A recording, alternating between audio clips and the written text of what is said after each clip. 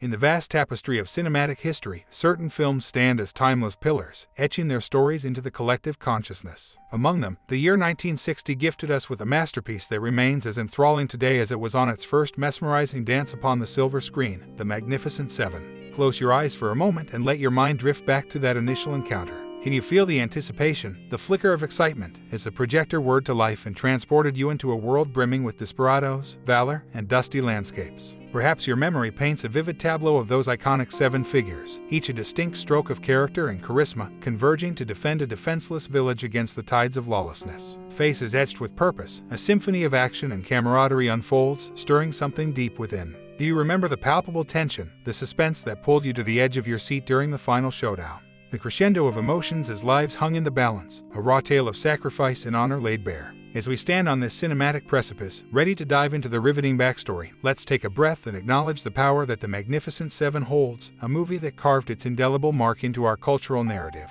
Picture those reels rolling, the scenes unfolding, as we delve into some random revelations that might just surprise you. Did you know that the film itself was an adaptation, inspired by Akira Kurosawa's Seven Samurai? It's a fascinating twist in the annals of artistic influence. So, with a nod to the past and a glint of excitement for the journey ahead, let's traverse the landscape of facts that surround this cinematic gem. From casting anecdotes to unexpected production tales, we're about to unearth some gems that will deepen your appreciation for the film that has transcended generations.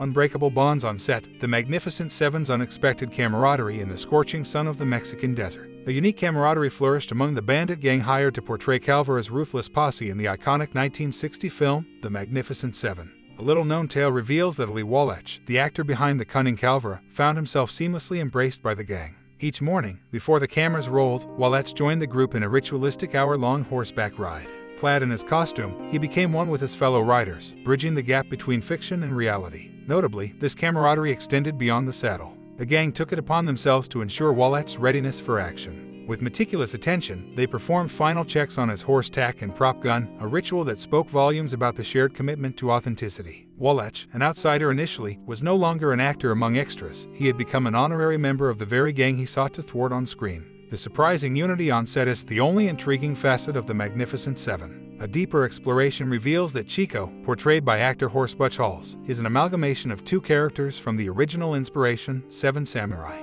The personalities of Katsushiro and Kikuchiyo, distinct individuals in Kurosawa's masterpiece, were seamlessly woven together to create the charismatic Chico. This creative choice by director John Sturges added a layer of complexity to the character, showcasing the film's endeavor to pay homage while forging its unique identity. As the sun set on the rugged sets of The Magnificent Seven, it left behind a legacy of unexpected bonds formed amid the chaos of production. Eli Wallach's connection with the Bandit Gang and the ingenious merging of characters underscore the enduring power of collaboration and innovation in filmmaking.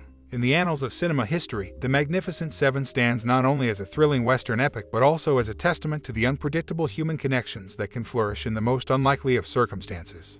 In a race against time, the 1960 classic The Magnificent Seven rode into production, fueled by urgency. The threat of an impending actor's strike loomed large, prompting a scramble to piece together the film's main ensemble before the curtain fell on Hollywood. The cast, a constellation of talent including Yul Brynner and Steve McQueen, was assembled with mere moments to spare. The silver screen's epic clash of good and evil was birthed in haste, with the specter of a strike propelling its creation. Amid this fevered casting effort, an unlikely match emerged for the role of Britt, James Coburn, championed by his comrade Robert Vaughn, secured his place among the seven. Director John Sturges sought a spirit akin to Gary Cooper, and it was Vaughn who extolled Coburn's fit. The stars aligned, birthing a legend in Coburn's rugged portrayal. Yet, the movie's equestrian element harbored its own hidden tale. Yul Brynner's mount, Pie, trotted onto the screen with a storied past. This equine star had once borne James Stewart through the annals of Western cinema. A trail of research led to the unearthing of Pie's history, now bridging two icons of the genre. The Magnificent Seven galloped beyond the challenges of its inception, etching its name into film history. An assembly born of necessity, a performance recommended by camaraderie, and a horse that carried the legacy of legends. The movie stands not only as a testament to its own cinematic prowess, but also as a reflection of the serendipitous currents that guide the silver screen.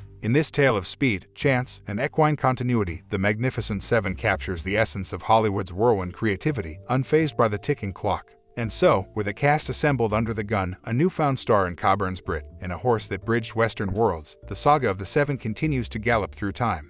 Unveiling the dramatic dynamics behind the Magnificent Seven in the annals of cinematic history. Few films have left an indelible mark like The Magnificent Seven, the 1960 Western that redefined the genre. Beyond its iconic tale of seven gunfighters defending a humble village from bandit raids, the movie's backstage anecdotes cast a captivating light on the interplay of personalities that electrified the silver screen. Central to the saga was James Coburn, whose dedication to his role brought an unexpected twist. A devout admirer of Akira Kurosawa's Seven Samurai, Coburn tapped into his admiration for the original film's Kyuzo, portrayed by Seiji Miyaguchi. Coburn's immersion into Kyuzo's essence lent his own portrayal of the enigmatic Britt a mesmerizing authenticity. The homage went beyond imitation, it became an emblem of cross-cultural cinematic reverence. Amidst this intricate ensemble, a fervent rivalry unfurled, primarily between Yul Brynner and Steve McQueen. Brynner's commanding presence clashed with McQueen's charismatic flair, both vying for the audience's gaze. What was confined to the characters on screen soon echoed behind the scenes. An exhilarating domino effect followed as their peers in the cast commenced their own audacious antics. The tantalizing tug of war for the spotlight wove its way into the final cut, a testament to their improvisational virtuosity. Yet, this symphony of audacity also played discordant notes. Behind the camera, John Sturges, the director, found himself in a labyrinth of unpredictable theatrics. As the cast's unscripted endeavors spiraled, Sturges grappled to maintain control, navigating the thin line between creative combustion and chaotic unraveling.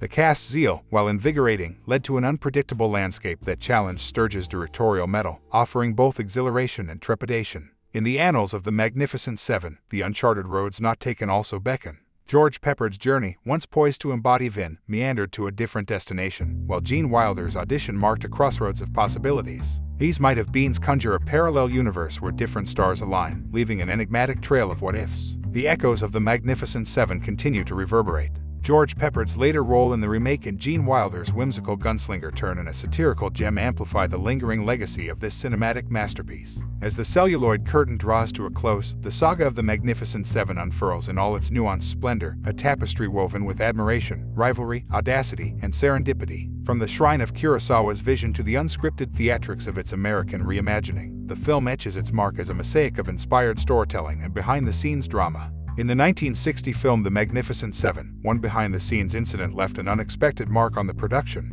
Horst Buchholz, who portrayed Chico, found himself in an unusual predicament. While handling a firearm loaded with blanks, Buchholz accidentally discharged the weapon, striking himself in the leg. Fortunately, the rounds were blanks, but the forceful shot still raised a welt on his leg. This incident serves as a testament to the unpredictable nature of filmmaking, even in controlled environments. Eli Wallach's attention to detail in his portrayal of his character, Calvera, extended beyond scripted lines. Observant viewers might notice a unique trait whenever Wallach handles his gun on screen. Each time he holsters the weapon, he deliberately gazes downward. This quirky action stemmed from Wallach's desire to avoid any mishaps while holstering the gun. Unaccustomed to such actions, he aimed to sidestep any embarrassment of fumbling the holster, as he later candidly admitted in a DVD documentary. This idiosyncrasy further adds to the layers of depth that Wallach brought to his role. However, not all aspects of the film's production were smooth sailing. Screenwriter Walter Newman found himself at odds with director John Sturges over the treatment of certain scenes and dialogue. His frustration escalated when Sturges reassigned some of Yul Brynner's meticulously crafted character-driven lines to actors Steve McQueen and Charles Bronson.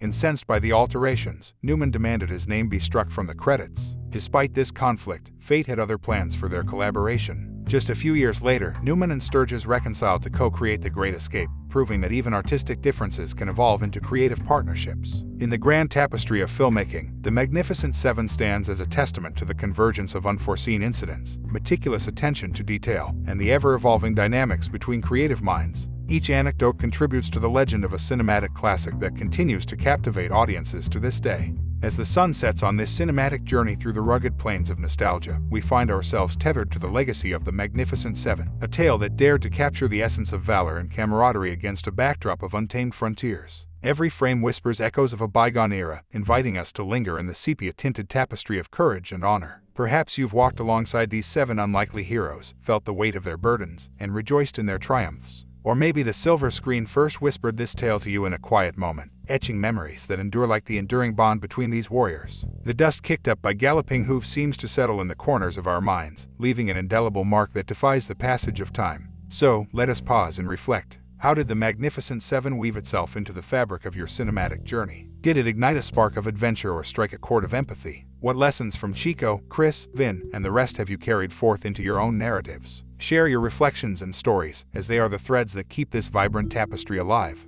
As the credits roll on this moment of contemplation, we extend our gratitude for your time and your connection to this classic masterpiece. Your thoughts and memories breathe life into its ageless narrative, allowing it to ride boldly through the pages of history and the corridors of our hearts. And with that, we bid adieu, knowing that the spirit of the Magnificent Seven lives on within you, a testament to the power of storytelling that transcends generations.